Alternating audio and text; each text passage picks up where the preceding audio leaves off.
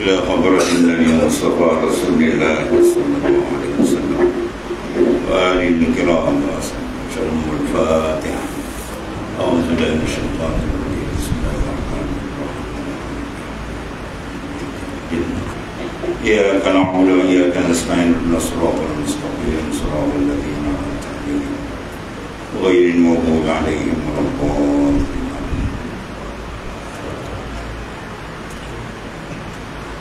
السلام عليكم ورحمة الله تعالى وبركاته. الحمد لله نحمده ونستعينه ونستهديه ونستغفره. ونعوذ بالله من شرور أنفسنا ومن سيئات أعمالنا. من يهد الله فلا مضل له ومن يضلل فلا هادي له. اللهم إني أسألك بنور وجه الله العظيم الذي ملا أركان عرش الله العظيم وقامت به عوالم الله العظيم. أن تصلي على مولانا محمد ذي القدر العظيم وعلى آل نبي الله العظيم. بقدر عظمة ذات الله العظيم في كل لمحة ونفس عدد ما في علم الله العظيم. صلاة دائمة بدوام الله العظيم. تعظيما لحقك يا مولانا يا محمد يا ذا الخلق العظيم. وسلم عليه وعلى آله مثل ذلك. وجمع بيني وبينه كما جمعت بين الروح والنقص ظاهرا وباطنا يقظة ومناما واجعله يا ربي روحا لذاتي من جميع الوجوه في الدنيا قبل الآخرة يا عظيم. قال الله تعالى في الكتاب العزيز وهو أسلك القائل لقد كان لكم في رسول الله أسوة حسنة. Yang dikasihi saudara pengurusi majlis ahli jawatan kuasa Madrasah Ikhlas Taman Jati. Muslimin dan muslimat ibu bapa yang dikasihi sekalian. Pertamanya kita manjatkan kesyukuran terhadap Allah Subhanahu wa taala.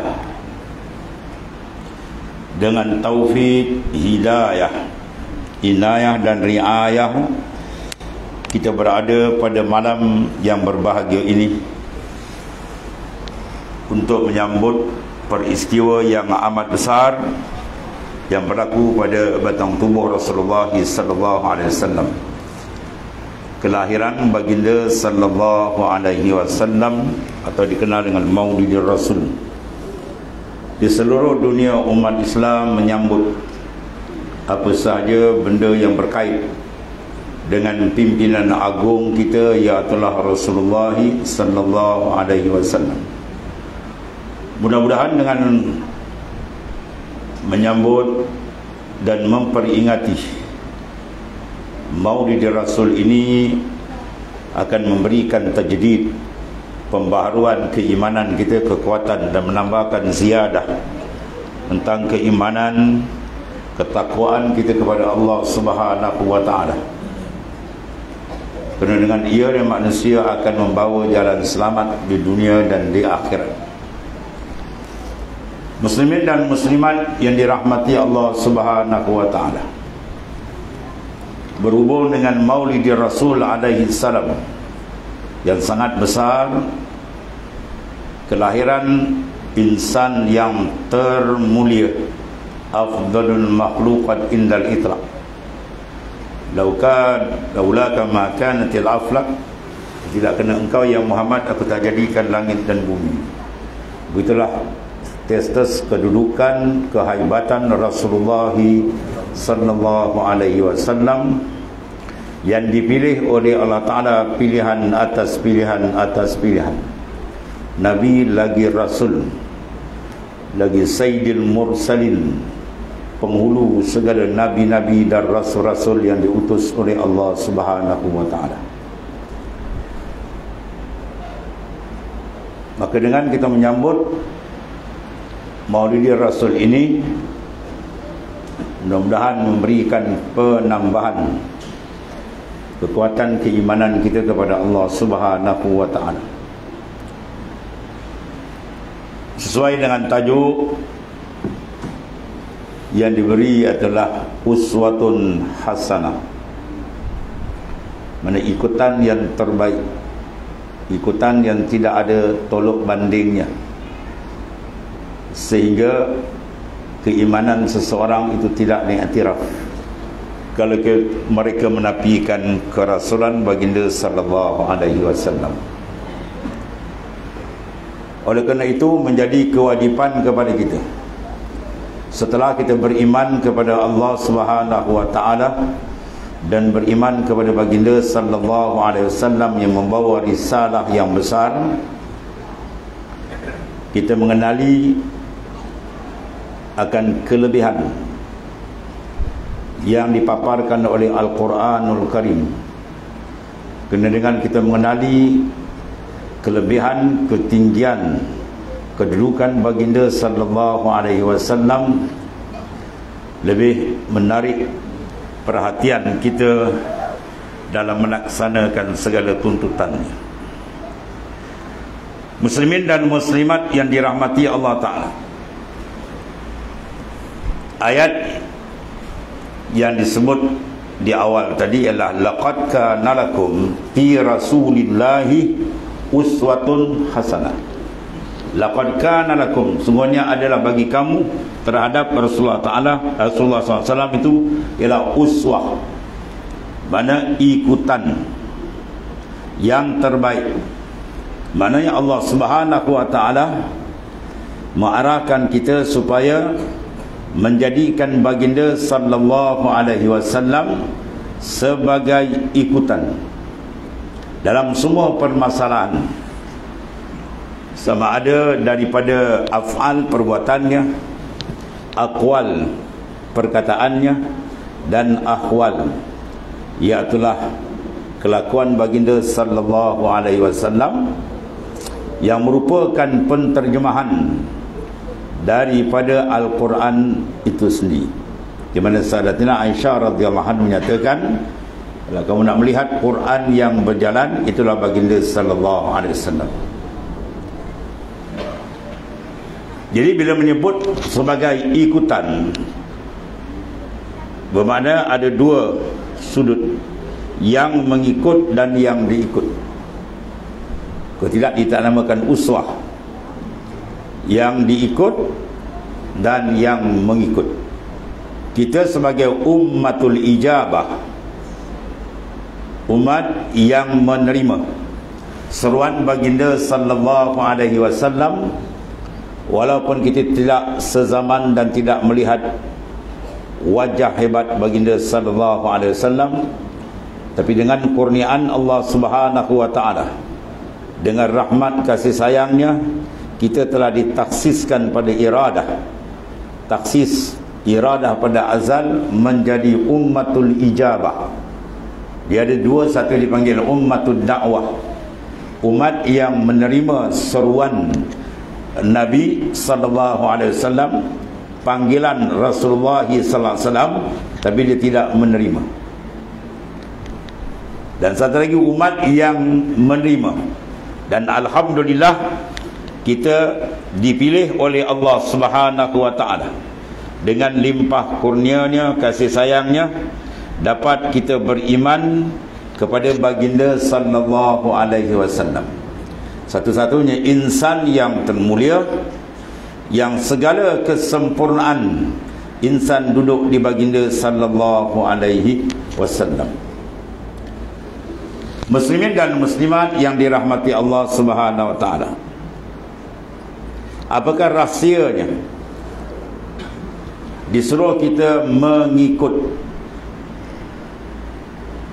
akan baginda sallallahu alaihi wasallam yang pertama kerana baginda sallallahu alaihi wasallam adalah mendapat mandat yang besar daripada Allah Subhanahu wa taala. Firman Allah Ta'ala wa ma atakumur rasul fa'uzu. Wa ma nahakum anhu fantah. Apa sahaja yang didatangkan oleh rasul maka naklah kamu terima pakai. Dan apa sahaja yang dilarang oleh Rasul sallallahu alaihi wasallam maka hendaklah kamu jauhi. Jadi keselamatan dan kebahagiaan insan di dunia lebih-lebih lagi di sana setelah kita kembali iaitu al-hayatu ma' dan mamat kehidupan sebenar di sana besok adalah letak di bawah dua perkara ini. Ia telah menerima apa yang didatangkan oleh baginda sallallahu alaihi wasallam dan menjauhkan apa yang dilarang oleh Rasul sallallahu alaihi wasallam. Untuk memberi makna dan pengertian sebenarnya kehasilan dan nataij natijah daripada sambutan Maulid Rasul saban tahun yang kita sambut yang itulah yang semestinya maka semakan perlu dibuat oleh kita. Sejauh manakah kita meletakkan diri kita mengikut Rasulullah wasallam? Rasul yang telah diberikan otoriti besar oleh Allah Subhanahu wa taala. Wa ma atakumur rasul apa sahaja yang dibawa datang oleh Rasul naklah kita terima pakai Persoalan ni apa yang Rasul bawa datang? Ini menjadi satu titik persoalan. Mana mungkin insan itu boleh mengamalkan dan menerima melaksanakan yang dibawa oleh Rasul kalau sekiranya yang dibawa oleh Rasul itu masih samar dalam pengetahuannya. Apa dia yang dibawa oleh Rasul? Mana mungkin insan itu dapat meninggalkan perkara yang dilarang oleh Rasul kalau sekiranya perkara itu tidak dipahami dengan betul. Jadi oleh kerana itu dua perkara yang besar yang perlu menjadi semakan kepada kita sesuai dengan kita menyambut kelahiran baginda sallallahu alaihi wasallam yang membawa nurul Islam cahaya Islam daripada Allah Subhanahu wa taala maka menyelidiki dan memantau dalam perkara yang tersebut adalah perkara yang amat besar. Sebab Islam itu sendiri adalah didirikan dalam dua pecahan. Ad-dinu syatran fa'lul ma'murat wa tarkil manhiyat Islam dipecahkan kepada dua. Pertama pelaksanaan yang disuruh. Yang kedua meninggalkan yang dilarang. Dan keselamatan kita di dunia dan akhirat dia duduk di bawah naungan ini. Kata hujjatul Islam al-imamul ghazali fa'lul ma'murat wa tarkil manhiyat melaksanakan apa yang disuruh dan meninggalkan apa yang dilarang. Kerana kebahagiaan manusia letaknya di situ. Sebab tidak ada benda yang disuruh melainkan mendatangkan manfaat manfaat yang besar yang hakiki. Dan tidak ada benda yang dilarang melainkan benda itu adalah benda yang membawa mudarat yang amat besar. Jadi oleh kerana itu Rasulullah sallallahu alaihi wasallam telah diberikan mandat yang besar. Oleh sebab itulah kita menjadi kewajipan menjadikan ianya sebagai uswah ikutan yang terbaik. Dan yang keduanya baginda diberikan oleh Allah Subhanahu wa taala kawalan rapi dari Allah taala. Wa ma yantiqu anil hawa in huwa illa wahyun yuha wa ma yantiqu anil hawa. Rasul tidak bertutur mengikut selera nafsunya. Tapi apa yang tutur ialah wahyu daripada ah, Allah Ta'ala. Insan yang sangat dahsyat. Insan yang sangat hebat. Fizikalnya rohaninya ya tidak ada tandingan. Sehingga ulama meletakkan taraf Nabi itu laisa kamislihi syai'ai fil khalaq ini bukan sama dengan laisa kamsi syai pada sifat Tuhan dia tak. Ni aifil khalqi. Di kalangan makhluk kalau banding tak ada siapa boleh banding Rasulullah SAW. Ia terhebat, ia paling tinggi martabat, dia paling dekat dengan Allah Subhanahu wa taala terkenal sebelum turun ke dunia apatah lagi telah diturunkan oleh Ta'ala dan dikawal rapi oleh Allah Ta'ala ini antara fakta-fakta yang menyebabkan kita eh, rahsia kenapa Tuhan jadikan supaya kita menjadikan baginda sebagai ikutan yang terbaik uswatun hasanah sebab dia mempunyai pilihan yang dipilih oleh Allah Subhanahu wa taala sendiri. Bukan dipilih oleh manusia ya melalui pilihan-pilihan mereka tidak. Ya Rasulullah SAW tidak dipilih melalui pilihan raya tak ada. Ya, tanpa poster ke kempen ke tak ada ya ni rasul pilihan zat yang maha sempurna. Zat yang yaktasif bil kamalat yang bersifat dengan segala sifat kesempurnaan. Yang menjadikan sekalian alam yang memberikan kenikmatan memberikan rahmat kepada semua insan yang mengizinkan kita sementara di dunia ini sementara berangkat. Itulah zat yang maha sempurna yang memilih insan yang ter, termulia ialah Rasulullah sallallahu alaihi wasallam. Itu yang pertama. Ialah baginda sallallahu mendapat kawalan rapi daripada Allah taala, mendapat mandat yang besar daripada Allah Subhanahu wa taala dan Rasulullah sallallahu alaihi wasallam dijadikan sebagai rojokan kalau kita mengikut Nabi SAW Nabi ada tempat rojokan kita dalam semua masalah. Fa in tanaza'tum fi syai'in farudduh ila Allah war Rasul. Sekiranya kamu berlaku intiza perselisihan di antara kamu ruddu ila Allah kembalikan kepada Allah Subhanahu taala Al-Qur'anul Karim. War Rasul dan kepada Rasul ai ahadis as-sahihah daripada hadis-hadis yang sahih daripada baginda sallallahu alaihi wasallam. Semua ikutan kita kudua kita daripada sekecil-kecil perkara sampai sebesar-besar perkara. Kalau kita mengaji dari sudut pembersihan luaran yang dikatakan Islam tu ada agama yang membawa penyucian. Al-islamu nazif fatanazzafu fa innahu la yadkhulul janna illa nazif. Islam ialah agama yang bersih. Maka fatanazzafu menjadi kewajipan kepada kamu melakukan pembersihan. Fa innahu la yadkhulul janna illa nazif tidak dibenar masuk syurga melainkan orang yang bersih. Maka pembersihan sekurang-kurangnya berlaku pada tiga sudut. Pembersihan akidah rujukan kita huwa Rasulullah sallallahu alaihi wasallam. Rasulullah yang membawa agama tauhid membenteras akan amalan tasyrik menyungutukan Allah Subhanahu taala. 13 tahun Rasulullah mengolah dan membersihkan suasana di Mekah dan akhirnya sampai seluruh dunia untuk apa? Membersihkan daripada najis kesyirikan membawa kepada penyucian dan cahaya tauhid. Itu yang diajar oleh baginda sallallahu alaihi wasallam mengesahkan Allah Subhanahu wa taala mengenali akan Allah Subhanahu wa taala mana mungkin manusia boleh beribadah kepada Allah kalau ia tidak mengenali Tuhannya. La tasihul ibadah illa bima'rifatil ma'bud. Tidak sah dan tak diterima ibadat kalau seorang tu menyembah dia tak kenal siapa Tuhannya. Siapa yang mengajar kita makrifat akan Allah?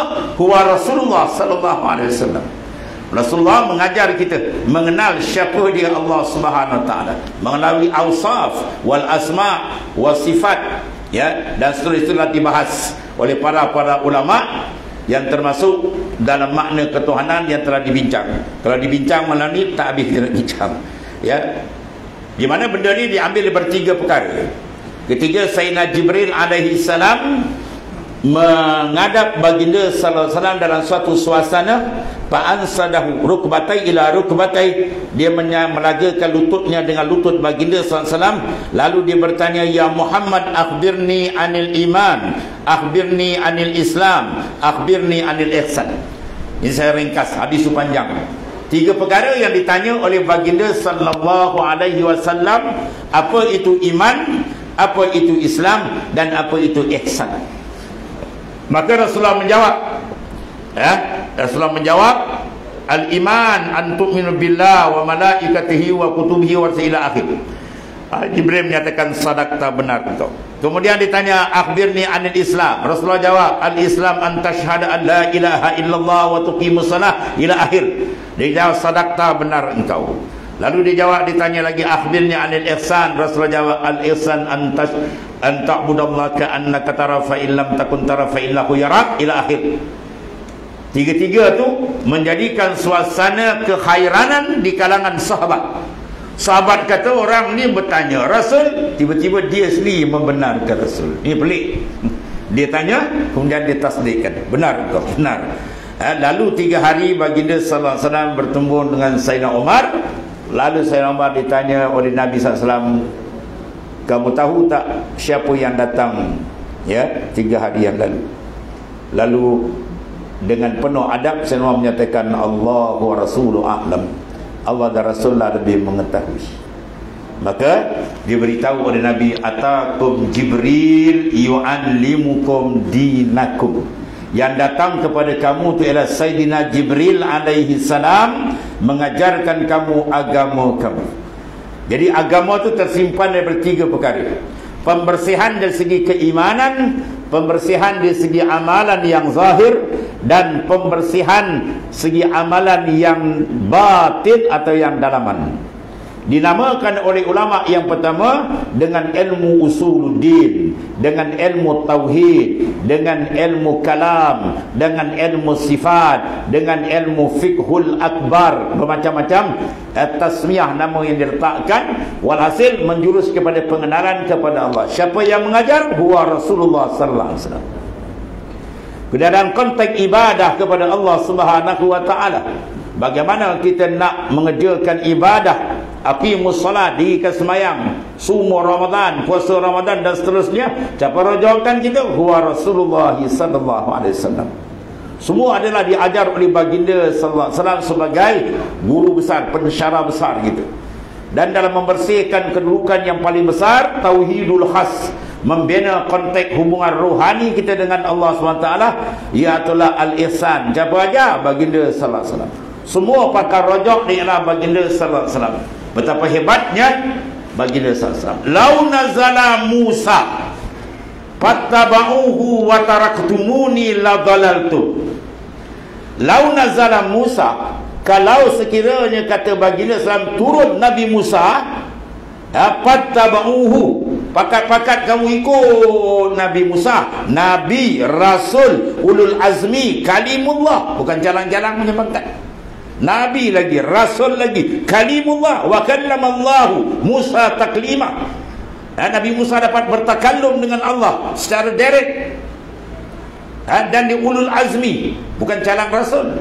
Tiba-tiba dia turun. Kita ikut Nabi Musa. Apa kata Rasulullah la dalaltum sesat kamu. Nabi Musa adalah Nabi Allah. Rasul Ulul Azmi ada kitab tetapi telah dimansukkan dengan kedatangan al-Islam yang dibawa oleh Rasulullah sallallahu alaihi wasallam.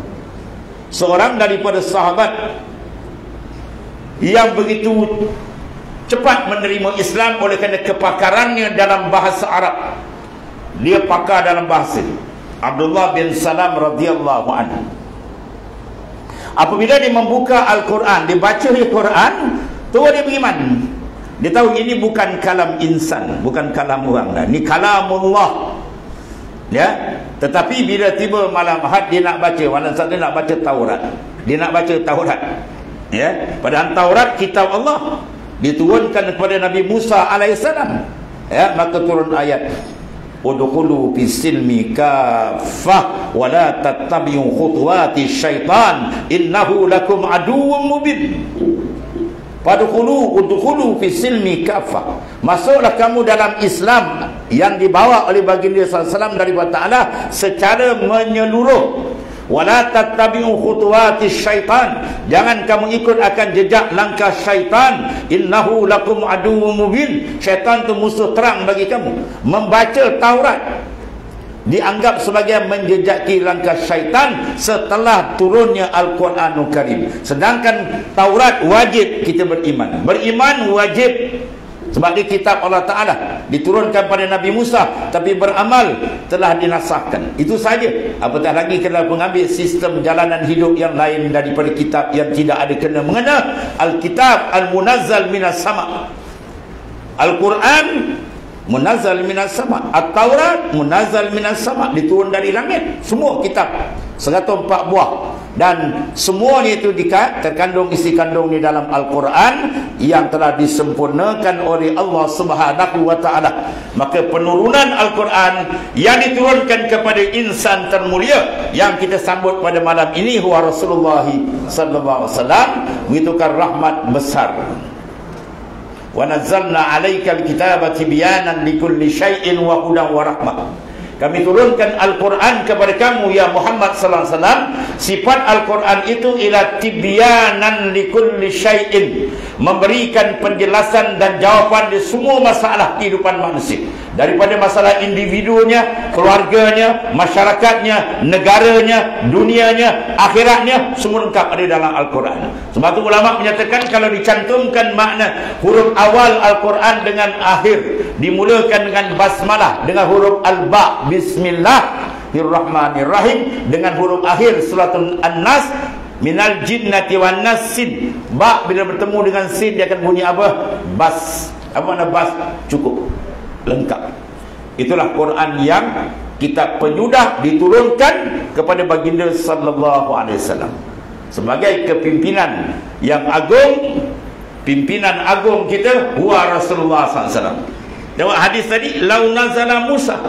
Kalau Musa turun sekarang ketiga Nabi dah ini Nabi Rasulullah bersabda ketiga baginda menjadi Rasul. Kalau sekira sekarang Musa turun dan kau ikut Musa watarattumuni dan kau tinggalkan aku kata baginda Salam la dalaltum sesat kamu semua itu menandakan apa pemutus segala syariah penghimpun pelengkap segala syariah ialah syariat yang diturunkan kepada baginda sallallahu alaihi wasallam. Itulah kemuliaan yang ada. Sebab tu apa saja perkara yang berlaku Allah Taala ajar kita fa in tanaza'tum fi syai' farduhu ila Allah war Rasul.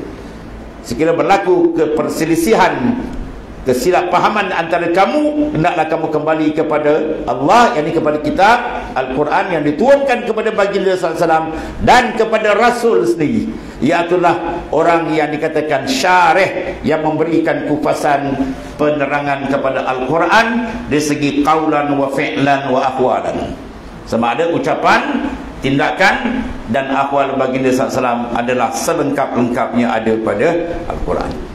Oleh kerana itu kita yang menjadi ummatul ijabah umat yang menerima akan apa sahaja yang datangkan oleh baginda wasallam adalah umat yang terpilih. Walaupun kita lahir di akhir tetapi orang yang awal insyaallah masuk ke dalam riyadul jannah taman syurga dengan keberkatan Habibullah Rasulullah sallallahu alaihi wasallam oleh kerana itu Berselawatlah kita banyak kepada baginda sallallahu alaihi wasallam untuk ada connect kalbi kita dengan baginda sallallahu. Ini amat penting tuan.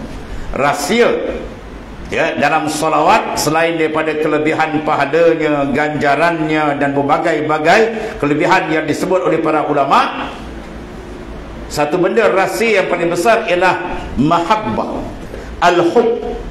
Ini satu benda penting. Sebab bila kita nak buat sesuatu perkara dia mesti ada di dalam kalbi kita kalbi kalau benda tu tak masuk dalam kalbi benda tak akan jadi tumpuan benda tu tak akan jadi tumpuan. Kalau buat boleh lebih kurang. Tapi bila tu benda tu masuk di kalbi ha, benda tu akan jadi benda besar. Batu kita memasukkan mahabbah hubbur rasul.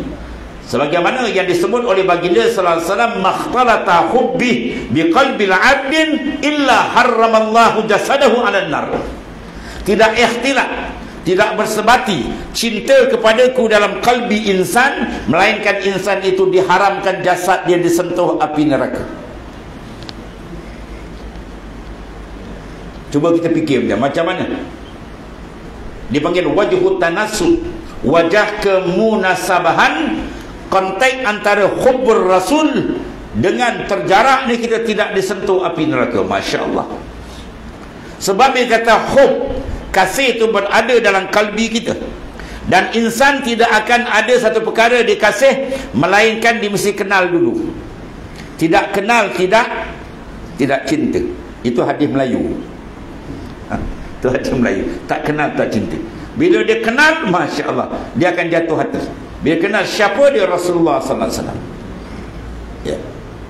Bila dibangkitkan apa kedudukannya apa kelebihan Masya Allah maka hati dia akan jatuh dan bila kalbi kita ada bersama Rasulullah SAW di mana saja kita berada sinaran nur baginda itu ada di kita insya Allah kita akan dapat berpegang teguh dengan sunnah Rasulullah SAW man tamassaka bi sunnati dakhala jannah. Siapa yang berpegang sungguh dengan sunnahku maka jaminan syurga lah untuknya. Jadi oleh kerana itu saudara muslimin dan muslimat yang dirahmati Allah Subhanahu taala, kalau kita berselawat gunakan salatul ishq. Selawat kerinduan. Lapas selawat tak kira. Dia nak baca selawat azimiyah ke, selawat sultan ke, selawat nariyah ke, apa baca lah. Pendek ke panjang tu tak ada masalah. Ruhus salah. Ruhus salah. Ini apa? Al-ishq. Kerinduan dengan Nabi sampai sangat dirasa rindu seolah-olah dia berada bersama baginda wasallam dan mengikut Profesor Rajab Dib seorang daripada profesor besar ulama besar di Syria. Pemimpin tarikat Naqsyabandiyah Al-Khalidiyah dia mengatakan makna kamu mengikut sunnah sebenar kamu bersama sentiasa dengan Rasulullah SAW bersama kalbi kita. Kita makan bersama Rasulullah kita berjalan bersama Rasulullah. Bukan Rasulullah duduk depan kita maknanya ingatan kita dan sunnah dia sentiasa bersama. Ha, itu dipanggil engkau mengamalkan sunnah dengan sebenar-benar sehingga Rasulullah itu sentiasa berada dalam ingatan. Sebab tu dia suruh hikmat kita banyakkan berselawat kepada baginda sampai peringkat maknanya terbuka. Ya ada kita doa Allahumma wajih ilayya ruha habibika sallallahu alaihi wasallam tuan-tuan baca dan sujud minta apa Allahumma wajih ya Allah bukakanlah hadapkanlah ya wa ya itulah ruhan nabi ke Muhammad wasallam. Ruhani Rasulullah wasallam. Kata buka itu makna satu kelebihan besar marra'ani fil manam fasayarani ya qazatan hadis sahih daripada Nabi SAW siapa yang melihatku dalam mimpi maka dia berpulang melihatku secara jaga. Itu mana konteks besar antara kita dengan baginda SAW adalah penting supaya dapat kita melaksanakan tuntutan dia yang dituntut oleh Allah Subhanahu wa taala. Satu. Yang kedua berhubung dengan ini Allah Subhanahu wa taala memaparkan dalam Al-Quran diabadikan dalam Quran. Kul in kuntum tuhibbunallaha fattabi'uni yuhibbukumullah wa yaghfir lakum dzunubakum Jika kehebatan baginda sallallahu alaihi Kul in kuntum tuhibbunallah Katakan ya Muhammad sekiranya kamu kasih kepada Allah Taala. Kasih kepada Taala ini adalah jalan yang diterokai oleh arif billah para arifin ialah tariqul mahabbah. Tanpa mahabbah kalbi dengan Tuhan, Islam yang kita bawa ni kita tak akan dapat rasakan kenikmatan dia. Maka dia bawa ibadat ni macam biasalah. Kau semayang ditinggal rangka kan. Kau dia semayang kosong tengah tonggik tengah tonggik tengah tonggik. Tak ada ruh. Tuan-tuan buka kitab kecil kitab Muniatul Musalli. Sembilan dalam tu ada mutiara ya piha yahsulul al khalwa wal muhaddasa wal muqabalah. Dalam semayang tu ada khalwa. Kita semayang tu dapat tak khalwa dengan Allah Ta'ala? Dapat tak muqabalah mukalamah? Sembilan mutiara tu baru sembilan kan? Berpuluh tahun kita semayang berapa mutiara yang kita ambil daripada daripada semayang mutiara-mutiara besar Dapat tidak? Aku tak dapat. Menangis selama malam Minta dengan Tuhan Ya Allah jauhnya aku dengan engkau. Tariklah kalbiku menghadap engkau. Minta dengan Allah Jadi dalam ayat ini Allah menyebut Sekiranya kamu kasih. Ini sebenarnya mahabbah. Ya mahabbah ni amat penting Kasih rindu. Sebab seseorang tidak akan terbuka kedudukan dia makrifat dengan Tuhan melainkan ba'dal ishq disebut oleh Imam Tariqatul Ahmadiyah Idrisiyah Sayyidi Ahmad Ibn Idris. Empat perkara tuan al-ish. Kerinduan bila berlaku dia rapat hijab. Aku buka kalbi seorang insan dengan aku. Kalau tak ada ish, kalau rindu dengan Tuhan tuan-tuan tak ada takkan terbuka. Tuan-tuan semayang berzikir macam tu je lah. Buat tuan-tuan tuan-tuan baca Quran zikir tapi tak masuk dalam dekat luar kemanisan halawah iskun tu penting. Rindu. Dan sekurang-kurang rindu macam jantan gila betina betina gila jantan. Macam mana rasa jantan dia duduk dia nampak tengok rumah nampak dia tengok selipar Jepun nampak dia tengok adik dia nampak dia. Ah mana benda yang ada alaka dengan mahbubah? Apa yang ada alaka kaitan dengan mahbubah kekasih kita? Adik dia rumah dia kampung dia semua tu. Kita tengok dia sesat hati ke sana. Maka semua makhluk adalah ya ta'allaku billah. Dia bertakluk bergantung dengan Allah. Dia ada satu makhluk yang terlepas dari Ta'ala tapi bila kita pandang pokok hanya nampak pokok. Kalau pandang langit hanya nampak langit. Kalau pandang uh, alam dan semua nampak itu saja tak pergi jauh. Tak pergi ke dia. Mana kita terlalu jauh? Abad. Terlalu jauh dengan Allah Ta'ala Ya. Sebab tu kita tak dapat kutip lagi mutiara-mutiara yang ada dalam salah yang sangat besar. Seperti as-salatu mi'rajul mu'min. Sembahyang tu mi'raj mukmin. Urujul qalbi ila Allah. Dipunca daripada mana tu? Ada ish. Dan iskun kerinduan dia tak akan dapat melainkan dia ada kasih. Dan kasih ke Tuhan tu takkan dapat melainkan dia dapat kemanisan halawah. Dan halawah tidak akan dapat. Dia kena ada istighal itu yang pertama. Empat proses yang ada. Istighalul qalbi billahi wa rasulih. Istighal tumpuan hati kita kepada Allah dan Rasul. Ya kemudian dia pergi kepada halawah kemanisan. Lepas kemanisan ke kasih sayang daripada dia ada kerinduan. Bila rindu kuat baru Tuhan buka. Kalau tak ada rindu tak ada mahabbah tak kuat ada kita buat ibadat ni hanya kat laku luar. Sebab tu timbulnya pesanan Nabi ya kepada dalam Quran pesan orang semayang tapi pawailul lil musallin Iza man salla man lam tanha salatuhu anil fahsya'i wal munkar lam yazdad minallahi illa mudah. Barang siapa yang sembahyang, sembahyang dia tidak jadi benteng kepada fahsyak munkar, dia tidak bertambah ke Tuhan melainkan bertambah jauh. Jauh dalam ibadat, ini perkara yang sangat dibimbang oleh arifin billah. Jauh dalam maksiat senang. Dia minum marak, dia berjudi, dia pun tahu dia salah. Di dalam ibadat, dia jauh dengan Tuhan. Sebab apa? Faqdul mahabbah wal ish. Kalbi dia tidak ada mahabbah dengan Tuhan. Ada penting kan? Waktu Rasulullah beri peringatan. Sembahyang tapi tak jadi benteng. Macam mana nak jadi sembahyang tu benteng? Ini rahsia dia. Ya. Kam min sa'imin laisarahu min siyami ila wal zama' Atau riwayatan al-atash banyak orang yang puasa tapi puasanya hanya dapat lapar dan dahah dahaga. Mana tidak diterima oleh Allah Taala. Matanya mulutnya tidak dipuasakan. Kalbi dia tidak dipuasakan. Roh dia tak dipuasakan. Kosong sebab apa? Tu rahsia. Yang dibawa di Nabi dia ambil tak habis. Dia ambil santar luar saja. Itu pentingnya dalam. Baik sekarang di sini Allah Taala tebuk dalam Quran supaya kita mengambil perhatian. Kul in kuntum tuhibbunallah Katakan kalau kamu benar-benar cinta dan kasih kepada Allah dan itulah dia panggil roh dalam kehidupan kita. Orang yang kalbi dia tidak ada rindu dengan Tuhan, hidup dia tidak ada nilaian langsung di sisi Allah Taala. Dia buat ibadat pun kosong kan. Itu mahabbah rindu. Waktu ini benda yang ditanamkan oleh Rasulullah SAW kepada para sahabat radhiyallahu anhum ajma'in. Sehingga apa sahaja yang diarah dia akan bawa. Apa sahaja yang diminta Tenaga, tenaga dia beri. Harta, harta dia beri. Nyawa, nyawa dia beri. Sebab apa tu? Tu rahsia dia. Mahabbah al-ishku billah. Rindu dengan Allah Ta'ala kuat ditanamkan oleh baginda sallallahu alaihi wasallam. Baik, dalam ayat ni kaitan dengan kemuliaan baginda sallallahu alaihi wasallam. Qul in kuntum tuhibbunallah fattabi'uni. Kalau kau kasih Allah Ta'ala, ikut akan daku.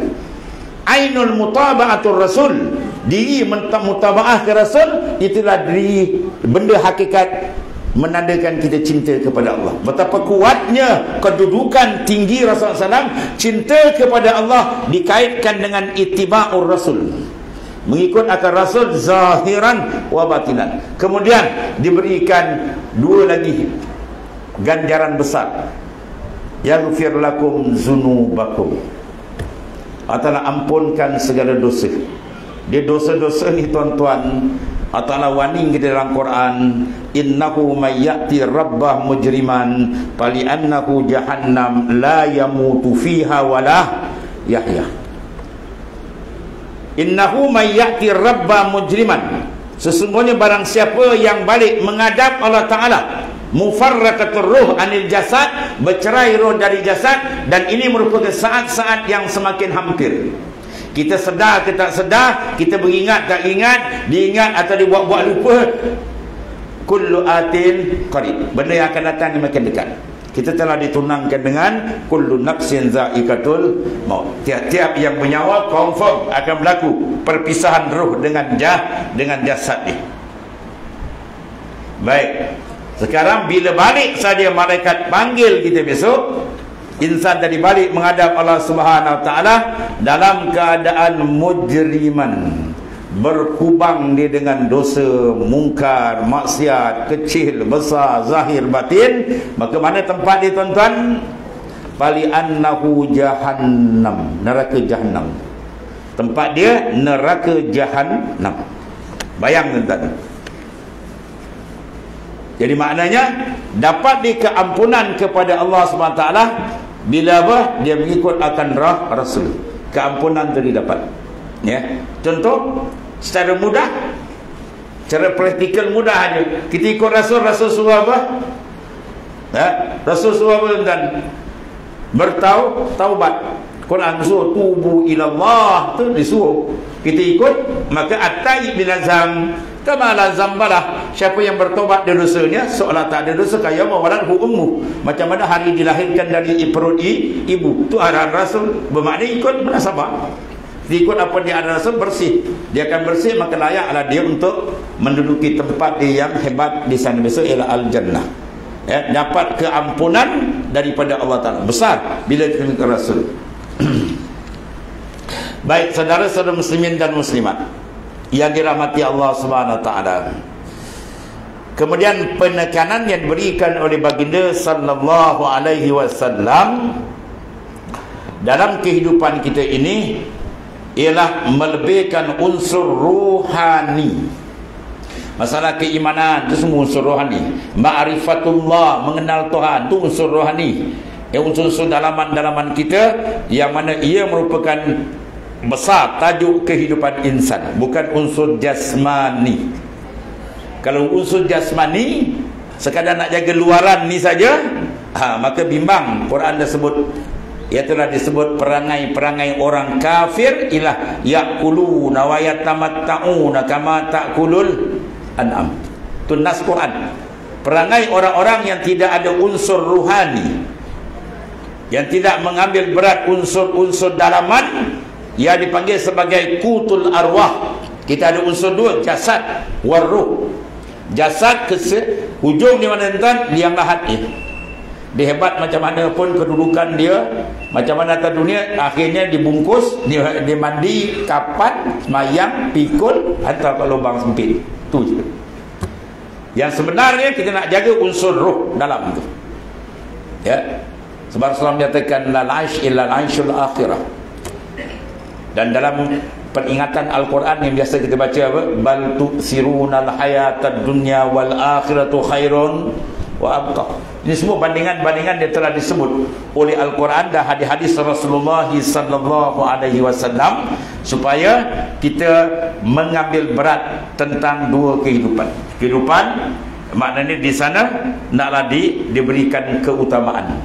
Sebab unsur ini dipanggil unsur ruhani ya Ulama sebut i'lam ayyuhal insan innal haqiqatal hayah hiya hiya al hayatur ruhaniyah.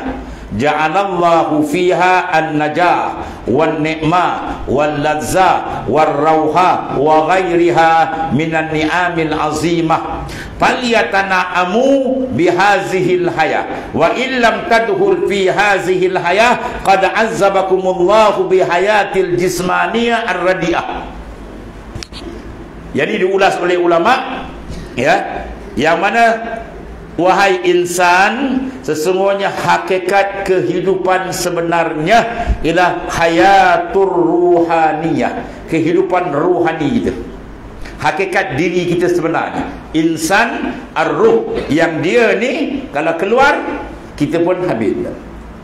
Ya tenganga je mulut kita. Dia keluar dia habis. Tinggallah nama tinggal harta tinggal semua habis tinggal. Dia ni hakikat sebenarnya. Dia ni yang paling mahal dalam kehidupan kita. Ya ibarat kalau kita buat misal burung dengan sangkar. Saya ada seorang sahabat dia main main burung burung dia tu burung apa? Burung apa? Ketitik gitu tahu ketitik. Ha? mengebuk mengebuk siam ha, seekor harga dia 40 ribu 50 ribu. Sangka dia 3 ribu. Ya, nak beri contoh dia beli burung 50 ribu. Ya? Kemudian sangka baru 3 ribu. Hari-hari dia solid sangka. Oh dia bersih berkilat sangat. Burung tak bagi makan. Macam? Duduk segi 4 hari burung kaki ke atas ya kaki ke atas kerak tu cerdik tak awak tu. Bodoh orang panggil ya dia pelihara benda yang murah. Dia tak jaga benda yang mah yang mahal. Sekarang roh dengan jasad mana mana mahal? Roh yang besar. Dia kena keluar habis kita kan dia keluar kan dia tinggalkan jasad kita akan tenganga dia kita kan ya tenganga dia kita jawab dia. Ha, sebab tu makanan dia nak kita beri. Makanan roh yang penting al-iman wal ma'rifah al-islam tu semua. Kontak antara kita dengan Tuhan itu dia kata kutul arwah. Sebab tu kita kena pantau betul kedudukan kita dengan Allah SWT sejauh mana ya draft keimanan kita makrifat kita terang atau gelap dekat atau jauh dengan Allah SWT sebab tu dia, rahsia di situ kutul arwah perkembangan rohani kita nak tahu. Kebanggaan kedudukan kalbi kita. Roh kita sir kita dengan Allah Ta'ala. Sebab dia bila settle yang lain semua habis. Ya inilah yang dipesan oleh Rasul yang kita sambut malam ini maulidnya. Inna fi jasad ibni adam mudghah iza saluhat saluhat sa'il jasad kullu. Wa iza fasada fasada sa'il jasad kullu ada wahyal qalb Hadis sahih daripada Nabi Islam dalam jasad anak Adam seketul daging. Bila dia baik semua baik, bila dia rosak semua rosak. Ala wahyal qalb itulah dia hati. Hati mana? Hati sebelah ni. Kan? Latifatur rabbaniyah nuraniyah ruhaniyah. Tu hakikat insan. Mengikut Imam Malik rupa dia serupa macam kita juga. Tapi ikut ulama mutabar serah kepada Taala ya yasalunaka anir ruhu ruh min amri rabbi mereka tanya kamu roh seluruh itu serah urusan Tuhan. Itulah hakikat diri kita. Ya yang merasa nikmat pun dia kan? Yang bercakap hari ini pun dia. Eh yang bercakap siapa ni eh ni yang bercakap siapa ni eh yang bercakap siapa dia. Dia ke yang luar yang dalam? Ha? Kalau yang dalam tu keluar saya boleh cakap tak? Tak boleh kan? Dia keluar tak habis dia dia keluar ruhul yakazah yang kita dah habis. Ruhul yakazah bila dia keluar tuan-tuan tidur. Kita bercakap dengan leli-leliu itu baru ruhul yakazah belum ruhul hayat kalau ruhul hayat dia keluarkan qalu inna apa dia beri batu insan kapur bagus ha, pergi kontak AJK Masjid wa inna tuan bulan-bulan dah kembali ke rahmatullah. Ya. Habis tinggal segala-gala. Jadi yang berharga yang nilai senat dia tu. Dia tu nak dijaga diberikan kecukupan keperluan dia. Daripada makrifat akan Allah Subhanahu taala. Pendekatan dia dengan Tuhan sebab dia nak balik menghadap Allah taala. Sebagaimana dia datang elok biar dia balik pun eh elok. Kita pinjam dah ni pinjam kereta orang cantik baru lagi minyak penuh bila balik sana kotor sini lekuk langgar. Tayar pula bocor minyak reserve pula. Tuan dia kata taubat aku tak bagi lagi yang kau harap inilah awalan wa akhiran. Yang kau harap mana pinjam lagi. Ya tak bertanggungjawab. Sebab kita datang ke dunia dalam keadaan fitrah Islam fitrah bersih. Ya fa inna abawahu yuhawi fa inna abawahu yuhawidani aw yumajisani yunasirani Dua ibu bapa lain membentuk anak jadi Yahudi ke jadi Nasara ke kata baginda satan. Maksudnya apa? Datang bersih, balik pun kena bersih. Ni panggil jalan pulang kan kan. Kita nak balik menghadap Tuhan kena ada ilmu jalan pulang. Tuan tutu kita katalah. Apa jalan pulang? Jalan panggilan. Bila mendapat akan surat jemputan syurga dari Allah Taala. Mana surat jemputan syurga? Ya ayyatuhan nafsul mutmainnah. Irji'i ila rabbiki radiyatan mardiyah fadkhuli fi ibadi wadkhuli. Wahai nafsu yang tenang mutmainnah. Ha. kalau dibalik dihembuskan nafas di akhir itulah dia. Tak martabat taraf martabat dia mutmainnah. Ha, maka Tuhan panggil. Ya ya ayyatuhan nafsul mutmainnah irji'i ila rabbiki kembalilah. Ha, ni jalan bagi. Kembalilah kepada Tuhan kamu. Dalam keadaan radiyatan mardiyah reda biridai wadkhuli fi ibadi masuk dalam abdul ditaksis. Kemudian wadkhuli jannati masuk dalam syurga. Dia nak duduk taraf ni tuan-tuan. Siapa ikutan kita? Huwa Rasulullah SAW dan kena pantau perkembangan ruhani kita daripada nafsu bawah label bawah tu. Amarah semayang subuh masjid tak kenal dia naik atas sikit. Lawamah ya kebanyakan kita ni lawamah kita dah ada sinaran nur ilmu. Dan nak jalan baik. Kadang-kadang terjatuh. Ha, kita marah nafsu kita kita bertobat. Bangun balik jatuh balik. Bangun ah itulah itu peringkat lawamah dia naik lagi sikit dia pergi kepada ya tu nafsu dipanggil nafsu yang dia panggil dapat ilham ya rabbani mulhamah. Biasa kada dalam suluk ya dia ada mulhamah. Bila bersih kan tuan pancarkan berbagai bagian nur ya. Iaitulah uh, warid-warid yang sampai. Dan naik satu peringkat lagi baru duduk nafsu mutmainnah. Nafsu mutmainnah ni tuan-tuan duduk tenang. Ini yang diajar oleh baginda sallallahu alaihi wasallam ya. Uh, supaya kita duduk tetap dalam mutmainnah ya iaitulah sama bagi dia. Hatta yastawiya indahu ya al-ghina wal faqir wal zahab wal hajar ila akhir. Sama je bagi kita tengok kaya dengan miskin serupa kita. Kita kalau berkawan kawan kita seorang kaya seorang miskin ada beza tak?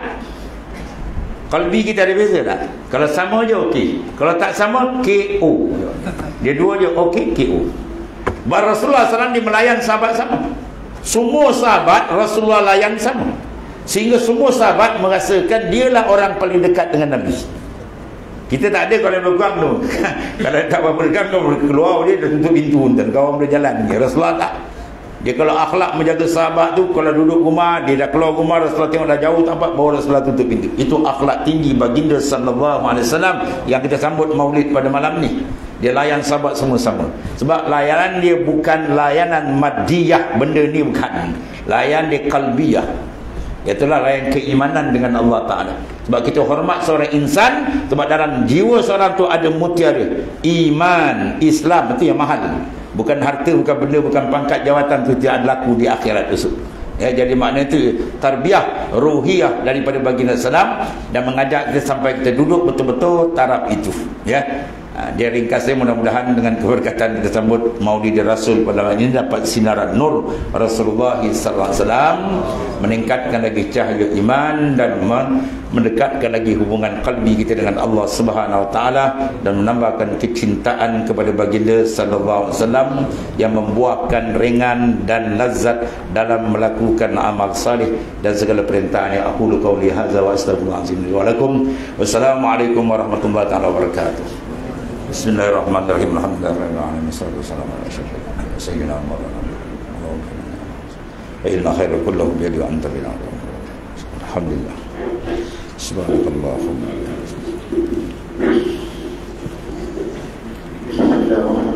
Alhamdulillah. Syukur kepada Allah Taala kita dapat sama-sama mendengar ceramah uh, yang bertajuk Nabi Muhammad sallallahu alaihi wasallam Quran Hasanah daripada tuan guru hari ini dia lalu Rahman di platform kita tadi kesimpulan yang saya dapat pada hari ini adalah Kudu tak ada dalam satu mahu Sebenarnya uh, semua insan yang bernama pasti akan mati mana Rujukan kita Contoh tawadan yang terbaik Kehidupan yang terbaik adalah Nabi Muhammad SAW Yang mana Rohani jadi utama untuk kita bertambah tambah baik amalan uh, kita mendekat kita daripada uh, mendekat kita diri kita kepada Allah SWT yang mana tambahan bahawasanya keluarga kita harta kita cita dunia kita akan tinggal apabila kita mati. insyaAllah sama-sama lah kita berbagi diri tambahkan amalan yang baik Ya. daripada sebelum ini pada uh, bermula pada hari ini dan sehingga penghujung usia kita insyaAllah Hmm. tambahan makluman pada semua para hadirin dan hadirat yang hadir pada malam, pada malam ini pengumuman Madrasah Al-Ikhlas akan buka sumbangan untuk rak Al-Malik iaitu rak Al-Quran akan dibuka kepada semua penerima untuk infak rak Al-Quran. Yang belah kiri dan belah kanan. Tiang. Madrasah Ikhlas. Uh, ber, bernilai sejumlah 5,600 untuk dua tiang. Dan kepada yang berminat boleh hubungi pengurusi dan bernahadi Madrasah Al-Ikhlas insyaAllah. Sekian itu saja. Assalamualaikum warahmatullahi wabarakatuh. Assalamualaikum